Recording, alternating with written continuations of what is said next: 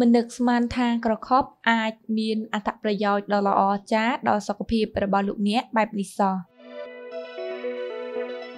ចំពោះប្រិមិត្តដែលចង់បានវីដេអូថ្មីថ្មីជួយ Subscribe ព្រោះចុចរូបកណ្ដឹងនោះលោកអ្នកនឹងទទួលបានវីដេអូល្អៗនៅពេលដែលក្រុមការងារបានអាប់ឡូតចេញទៅក្រខប់មានលក្ខណៈសម្បត្តិប្រឆាំងទៅនឹងបាក់តេរីការព្រួយបារម្ភដ៏ធំមួយនៃថ្នាំនាពេលបច្ចុប្បន្ននេះ គឺថាបាក់តេរីគ្រប់ប្រភេទកំពុងតែស៊ាំទៅនឹងថ្នាំអង់ទីប៊ីយូទិកដែលអ្នកវិទ្យាសាស្ត្របានផលិត យើងបានប្រើថ្នាំអង់ទីប៊ីយូទិកច្រើនពេករហូតដល់បាក់តេរីផ្លាស់ប្ដូរផ្លាស់ប្ដូរកាន់តែខ្លាំងនិងមានភាពធន់ទ្រាំខ្លាំង ផ្លែក្រខុបគឺជាថ្នាំអង់ទីប៊ីយូទិកធំគឺជាថ្នាំអង់ទីប៊ីយូទិកមួយដែលប្រយុទ្ធប្រឆាំងទៅនឹងបាក់តេរីក្នុងពោះវៀនដំបៅក្លាយជំងឺសួតនិងរោគខាន់ស្លាកការសាកល្បងជាច្រើនទៀតអាចបង្ហាញពីគុណតម្លៃរបស់វាក្នុងការប្រយុទ្ធប្រឆាំងទៅនឹងការវាយប្រហារគ្រប់ចំនួនផងដែរក្រខុបគឺជាប្រភពដ៏ធំនៃវីតាមីន C ក្រខប់100ក្រាម មានបរិមាណស្មើទៅនឹង150មីលីក្រាមនៃវីតាមីន C យើងដឹងរួចហើយថាវីតាមីននេះជួយការពារជំងឺគ្រុនប្រសាយមានសារធាតុប្រឆាំងទៅនឹងអុកស៊ីតកម្មខ្លាំងហើយថែមទាំងធ្វើឲ្យប្រសើរឡើងនៅជំងឺ ប្រភេទបេះដូង និងសរសៃឈាមមួយចំនួនទៀតផងក្រខប់ជួយផ្ដល់នូវការធូរស្បើយពីជំងឺរលាកសន្លាក់ឆ្អឹងកជើងនិងបាតជើង ជំងឺរលាកសន្លាក់ឆ្អឹងកជើងនិងបាតជើង គឺជាទម្រង់នៃការឈឺសន្លាក់ដែលបណ្ដាលមកពីបង្កើតអាស៊ីតអ៊ូរិកនៅក្នុងប្រព័ន្ធរាងកាយរបស់អ្នកដែលជាធម្មតាមកពីការទទួលទានអាហារប្រភេទខ្លាញ់ច្រើនពេកនិងទឹកតិចពេកខណៈពេលដែលក្រខប់មិនអាចព្យាបាលជំងឺរលាកសន្លាក់បានគ្រាន់តែទទួលទានផ្លែក្រខប់3ដងក្នុងមួយថ្ងៃដោយពិសាម្ដងម្ដងចំនួន9ទៅ12ផ្លែនឹងជួយបំបត្តិការឈឺចាប់ ក្រខប់ល្អសម្រាប់ការបំបត្តិការឈឺក្បាល មនុស្សដែលទទួលរងនៃការឈឺក្បាលធ្ងន់ធ្ងរគឺដោយសារតែបញ្ហាសរសៃឈាម ក្រខប់ជួយសម្រួលសរសៃឈាមឲ្យធូរស្បើយដូច្នេះឈាមអាចធ្វើចរាចរណ៍ជាធម្មតាបាន ក្រខប់មានប្រយោជន៍សម្រាប់អ្នកដែលមានជំងឺទឹកនោមផ្អែម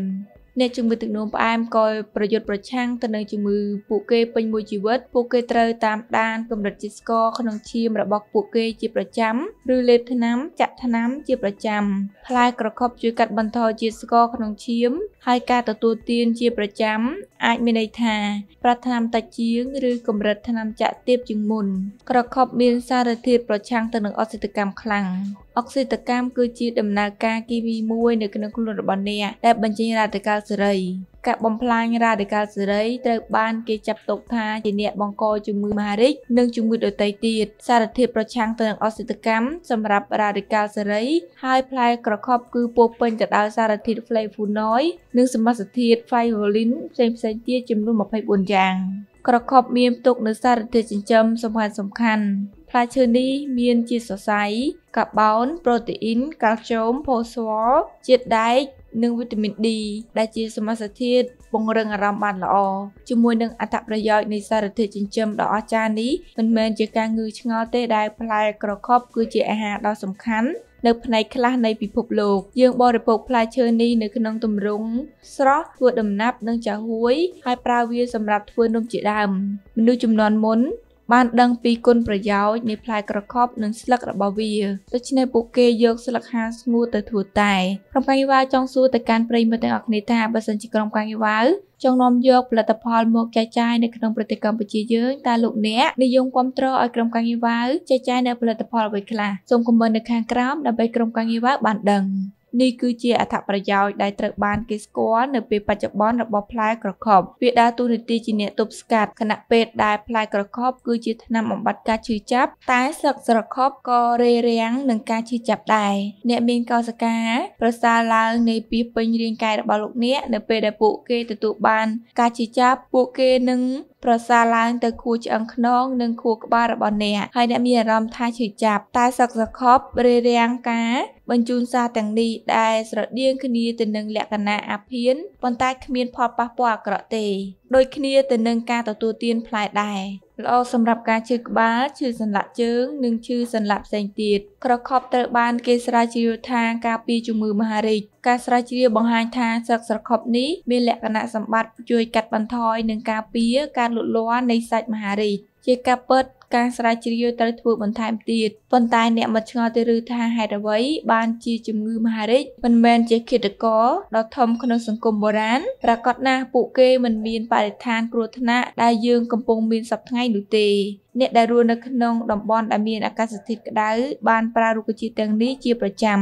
វាមានអត្ថប្រយោជន៍ប្រឆាំងទៅនឹងការរលាកធ្ងន់ធ្ងរផងដែរបញ្ហាទូទៅបំផុតជាមួយនឹងការរលាកកើតឡើងនៅក្នុងទម្រង់ ការហើមសន្លាក់និងជីលេកាគ្រុនក្តៅតែស្លឹកស្រខប់ជួយកាត់បន្ថយបញ្ហាទាំងនេះវាជួយកាត់បន្ថយសម្ពាធឈាមជំងឺលើឈាមបណ្ដាលមកពីកត្តាជាច្រើននៅក្នុងសង្គមរីកចម្រើនសពថ្ងៃដូចជាការជក់បារីការបរិភោគប្រៃរបបអាហារមានជាតិខ្លាញ់ខ្ពស់ និងដំណពូជនៅពេលសរសៃឈាមរួមតូចដោយសាររបបទាំងនេះឈាមមានការលំបាកក្នុងការធ្វើដំណើរឆ្លងកាត់រាងកាយនិងដាក់សម្ពាធទៅលើសរសៃឈាមរបស់លោកអ្នកដូច្នេះជំងឺលើឈាមមានលក្ខណៈគ្រោះថ្នាក់ដែលអាចបណ្ដាលឲ្យគាំងបេះដូងនិងដាច់សរសៃឈាមខួរក្បាលបានតែស្លឹកសខប់មានបរិមាណអុកស៊ីតជាច្រើនដែលជាសារធាតុគីមីធម្មជាតិជួយសម្រួលដល់សរសៃឈាម ដូច្នេះឈាមអាចហូបបានដោយសេរីហើយកាត់បន្ថយសម្ពាធបាន តែស្លឹកសខប់មានសារធាតុប្រឆាំងទៅនឹងអុកស៊ីតកម្មការពារការរលាកដែលអាចបណ្ដាលឲ្យរលាកខួរក្បាលឬគាំងបេះដូង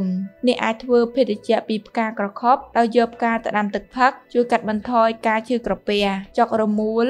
និងបញ្ហាការរំលាយអាហារអត្ថប្រយោជន៍ដ៏ល្អអាចារ្យរបស់ផ្លែស្រខប់និងស្លឹកស្រខប់ដែលក្រុមការងារវាវបានជម្រាបជូនដើម្បីមិញនេះវាបានដល់ទីបញ្ចប់ទៅហើយចំពោះប្រិយមិត្តដែលចង់បានវីដេអូថ្មីថ្មីជួយ Subscribe ព្រោះចុចរូបកណ្ដឹងនោះលោកអ្នកនឹងទទួលបានវីដេអូល្អៗនៅពេលដែលក្រុមការងារវាវអាប់ឡូតចេញទៅក្រុមការងារវាវចង់សួរទៅកាន់ប្រិយមិត្តទាំងអស់គ្នាថាបើសិនជាក្រុមការងារវាវចង់នាំយកផលិតផលមកចែកចាយនៅក្នុងប្រទេសកម្ពុជាយើងតើលោកអ្នកនិយមគ្រប់គ្រងឲ្យក្រុមការងារវាវចែកចាយនៅផលិតផលអ្វីខ្លះសូមខមមិននៅខាងក្រោមដើម្បីក្រុមការងារវាវបានដឹងបាទលោកលោកស្រីដែលនាងកញ្ញាប្រិមិត្តបងប្អូនជាទីមេត្រីឥឡូវនេះខ្ញុំបាទនឹងធ្វើការណែនាំជូនអំពីរបៀបនៃការចូលទៅកាន់ link description របស់ក្រុមការងារវាវជាជំហានដំបូងលោកលោកស្រីនាងកញ្ញាគ្រាន់តែចូលទៅកាន់ YouTube បន្ទាប់ពីចុច YouTube ហើយលោកអ្នកចូលទៅកន្លែង search ហើយលោកអ្នកវាយអក្សរដែលសរសេរឈ្មោះថាសំណាងសុកដែលមានអក្សរ S O M N A N G .clear S O K ហើយលោកអ្នក search នៅកន្លែងសញ្ញា search មួយនេះបន្ទាប់មកវានឹងលោតចូលទៅក្នុង channel បន្ទាប់មកទៀតលោកស្រីអ្នកកញ្ញាចុចនៅក្នុង channel មួយនេះនឹងចូលហើយចុចសញ្ញាព្រួយដែលខ្ញុំបានបង្ហាញជូននេះនោះនឹងលោតចូលទៅក្នុង link នេះគឺជា link ហើយលោកអ្នកចុចកន្លែងនេះទៅគឺមាន link ជាច្រើនផ្សេងទៀតដែលដាក់ចំណងជើងភាសាខ្មែរដូចជាបាទព័ត៌មានជាតិចុចកន្លែងនឹងមកបើគឺឃើញនៅព្រឹត្តិការណ៍ព័ត៌មានជាតិហើយលោកអ្នកចូលចុចជាវហើយនឹងចុចសញ្ញារូបកណ្ដឹង លោកលោកស្រីនាងកញ្ញានឹងទទួលបាននៅវីដេអូទាំងអស់នោះហើយសូមបញ្ជាក់ផងដែរថាមិនមែនមានវីដេអូប៉ុណ្ណឹងនោះទេគឺមានច្រើនជាងនឹងតទៅទៀតលោកលោកស្រីនាងកញ្ញាបាទអាចចុចខ្សែជាថ្មីហើយជ្រើសរើសនៅចំណងជើងជាភាសាខ្មែរហើយខាងមុខជាភាសាអង់គ្លេសនោះគឺជា link លោកអ្នកចុចចូលទៅនឹង alert ចូលទៅក្នុងទូរស័ព្ទដៃរបស់លោកអ្នកចូលទៅកាន់ channel ថ្មីមួយទៀតហើយអរគុណមែនទែនចំពោះការគ្រប់គ្រងសូមអរគុណសូមជម្រាបលា